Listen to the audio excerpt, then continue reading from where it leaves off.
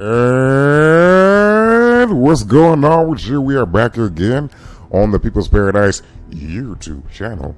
And today we're talking about my personal view, my personal opinion of the film that I spent $10.11 to go see last night with my cousin. Shout out to Willie. I love you. Also go check out his YouTube. That's my cousin. That's my bloodline. I love him to death. And that film is Detroit. The lovely and wonderful film, Detroit. Um, shout out to John Boyega. Shout out to Mark Boal. Shout out to Kathryn Bigelow. Deuce Bigalow. Deuce Bigalow. Uh, uh, Deuce Bigalow. Hey, hey, hey. Figured you could show me something. Anyway, with that being said, I went to go see the film last night. Actually turned out to be a very, very entertaining film. I enjoyed every minute of it. Now, granted, when I walked into the theater and saw the film, I was 15 minutes late. And with any black movie, pro black movie, or black movie that's set that's set in like this, like set like uh most of the black movies is like set in like set in like um before 1970 you can never be late because if you late like if you at least 10 minutes late by the time you're gonna be by the time you walk into the theater you're just gonna walk into the part where you see the cops just harassing black people for no reason and beating them with billy clubs and shit. Three times. I went to three separate movies detroit selma malcolm x. Each time when i came in late to see the goddamn film i, I came into the part where niggas was already getting their ass beat by the cops for no apparent reason. I'm like hey what's going on? God damn it i did it again? Shit.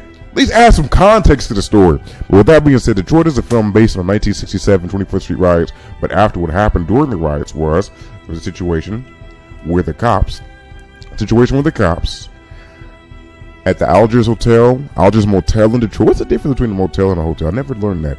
At the Algiers Motel in Detroit, Officers, Detroit police killed three unarmed young black men at the hotel and were found not guilty when they were charged with murder charges.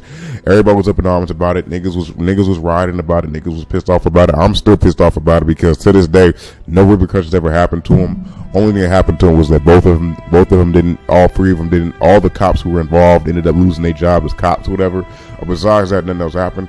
Um, that's the only thing like like we lose our life, they lose their job. Like that's the, like in every like like like that's the equivalent of a black man's life. We got to lose our life, or you lose our whatever they kill, whatever they kill a black man unlawfully. That's like the equivalent. That's like the equivalent exchange for our life. Okay, you got to lose your job, Bill. Bill, you killed the nigger. You got to lose your job. But um, overall, my personal opinion about this film, this is actually a really really entertaining film. I enjoyed it. I recommend anybody in my audience, recommend everybody on my listeners, recommend all of you guys take the time to go see this film. I like films like this because you can see a parallel. Because keep in mind, this film was in 1967. The events of this film took place in the year 1967. That's 50 years ago. Some of y'all mamas and daddies wasn't even alive 50, 50 years ago. And you can see that at that time, that same action that took place, cops being on trial, overwhelming evidence showing that they killed the young man, found not guilty. Two months ago, Philando Castile, Philando Castile's murderer was caught on camera shooting him in the car while his daughter and his mother is in the, while his daughter and his girlfriend's in the car, found not guilty. And we have we have video we have we have two point of view cameras that two point of two point of view video footage that shows that the cop should go to jail. The shot cop is definitely guilty. The cop had no right to shoot Philando Castile. Philando Castile posed no threat to him. Now, with that being said, I'm going to say this also. This is not the film that you take your white girlfriend to see unless you're trying to guilt trip her into giving you some pussy. This is not the film that you take her to see. Unless you're trying to guilt trip her into getting giving you some pussy and it might be a second or third date, she ain't gave you none yet, then this is the one you go say. Matter of fact, I might take mine to I might take mine to go see tonight. Be like, hey baby, let's go see hey baby, let's baby, let, baby, let's go see the uh, let's go see the Detroit film today. But so with that being said, no, it's a it's a dope film. No, it's a dope film. I think that I think it's just that um this is one of those type of films where you can't watch two types of films of that subject matter and of that depth in a row because nigga, you will kill yourself. It is. I left that film so angry and frustrated. I was just. It was just. It just was a lot of emotions going through my mind, man. You know. So the film shows a very, very shocking reality at the time. You know. And one thing I like about films like this, and I'm not going to spoil it for you, but at the end. There's no happy ending to the film. There's no happy ending to the film. Matter of fact, only I'm a, I'm a, I'm a, there's no happy ending to the film, and I like films like that because keeping it all the way a buck, back in those days, there was no happy ending to how there was no happy ending for black people back in those times. There was no happy ending.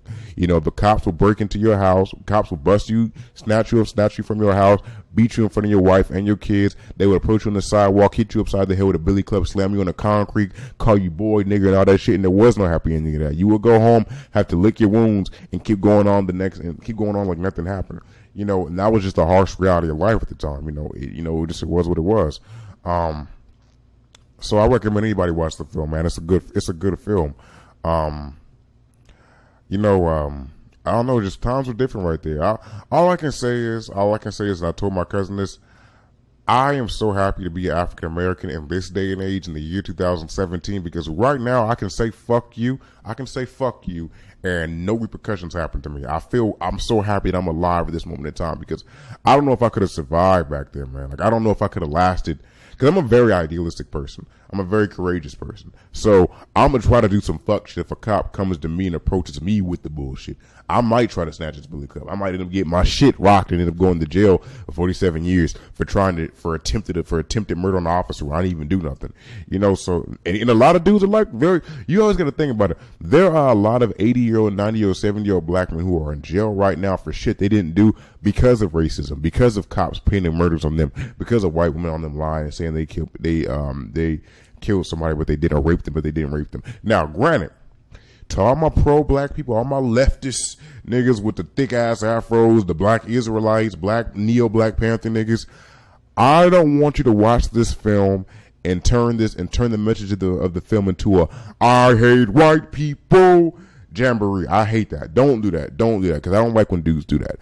At the end of the day, it was a different time. It was a different time. Some of the same elements that existed in that time exist in this time too. That is true. But regardless of the fact, you shouldn't try to become what our oppressors used to be. You shouldn't try to adapt. You shouldn't try to wear that mask. Don't wear that mask. Don't wear that guys. It should all, it should always be about unity. It should always be about unity. That's my thing. I can't stand those black neo black Israelites who hate white people. The Tariq Nasheeds, the um, the Tariq Nasheeds, the New Black Panther Party, um, some of the really really extreme black Muslims. I can't stand them because I because I think they I think they preach they preach hate more than they preach love. And I think within this country, we're never going to get anywhere unless we start loving more unifying more. And with that being said, macadamia chocolate chip cookies are the best cookies that you can ever purchase in the grocery store. Make sure you remind me some because my birthday is in a month. And um, shout out to the girl's number I got at the club last night. I'm gonna text you tonight.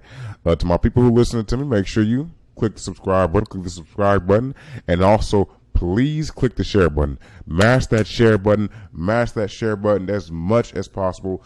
Please mash that share button as much as possible because I really, really, really, really, really, really need, want to get this YouTube channel out there. So with that being said, thank you for listening to me. Thank you for being part of the family. My name is JT. One love.